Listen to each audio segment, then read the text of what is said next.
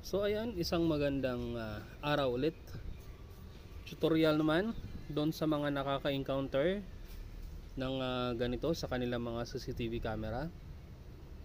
Ah, yun ay maging dome, yung yung ah, yung bilog, yung bol, maging bullet type or maging yung PTZ, yung panning, tilting at saka zoom, yung bilog na malaki, yung mga nasa pang traffic.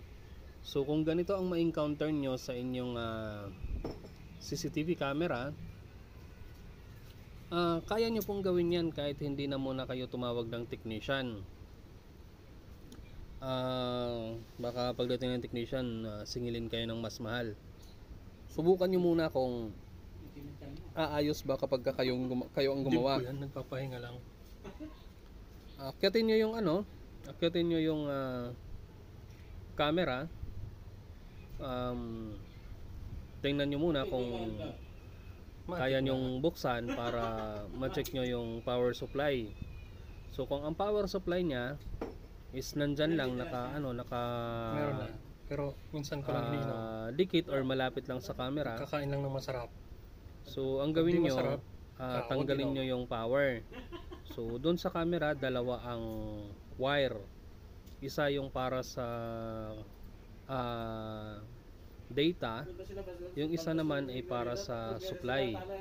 So, Yun nga yung bilog sabi ni na mas Suliano eh. maliit, yun ang supply. Nangyari sa laro So ang nyo, gagawin nyo parang i-refresh talo nung nyo una, pero nung pangalawa, panalo. Pero kung ang Panalo yung ano nyo naman, ang ah, camera, ang power supply nyo naman is parang ng charger 500. lang na pwedeng tanggalin sa saksak.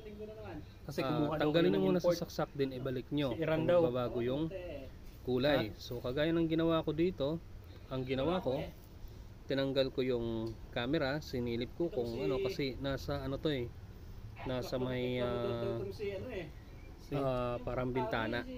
Nabilis. So sinilip ko muna siya kung madudukot, Luwi. anong hindi kinaya, kailangan talagang tanggalin ang camera kasi yung yung power supply kasi nito is nasa loob ng ano, nasa loob ng kisame, mas mahirap kung yan ang tatanggalin ko.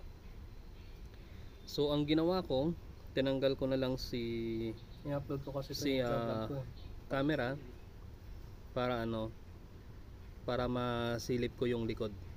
So, Siyempre, ito ay hindi sa ano pulis sa ah, hindi lang iisang kulay ito. So, maaaring mangyari yung ganito sa inyo, maging kulay pula, kulay green or orange.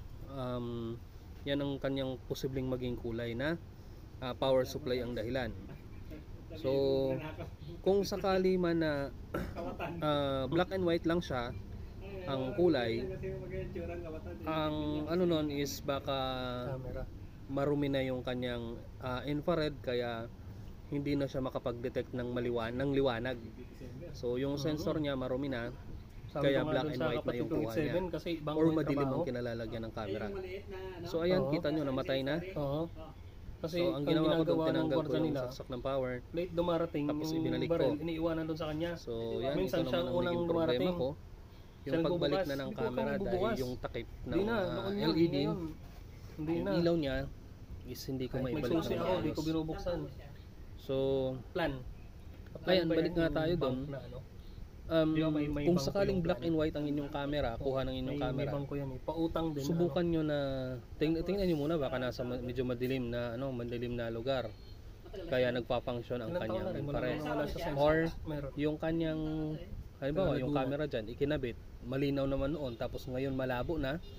Ah, isa sa reason niyan is ah, posibleng mataas yung ah, yung ampere ng power supply, nasunog, di naman nasunog pero nangitim na yung kahit yung lens, yung ano dahil sa init. Tapos parang natabunan na yung sensor ng kanyang infrared. Kaya nag nag ano na siya. Hindi niya na ma-detect ng tama yung liwanag at saka dilim.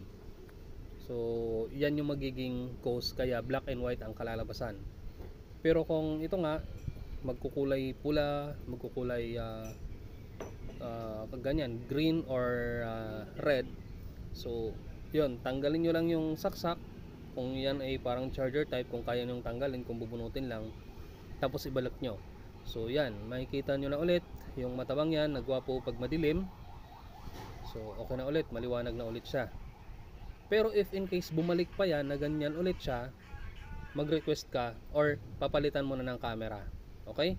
So, sana nakatulong ng konti. Maraming salamat. Paklik po ng subscribe. Thank you ng marami.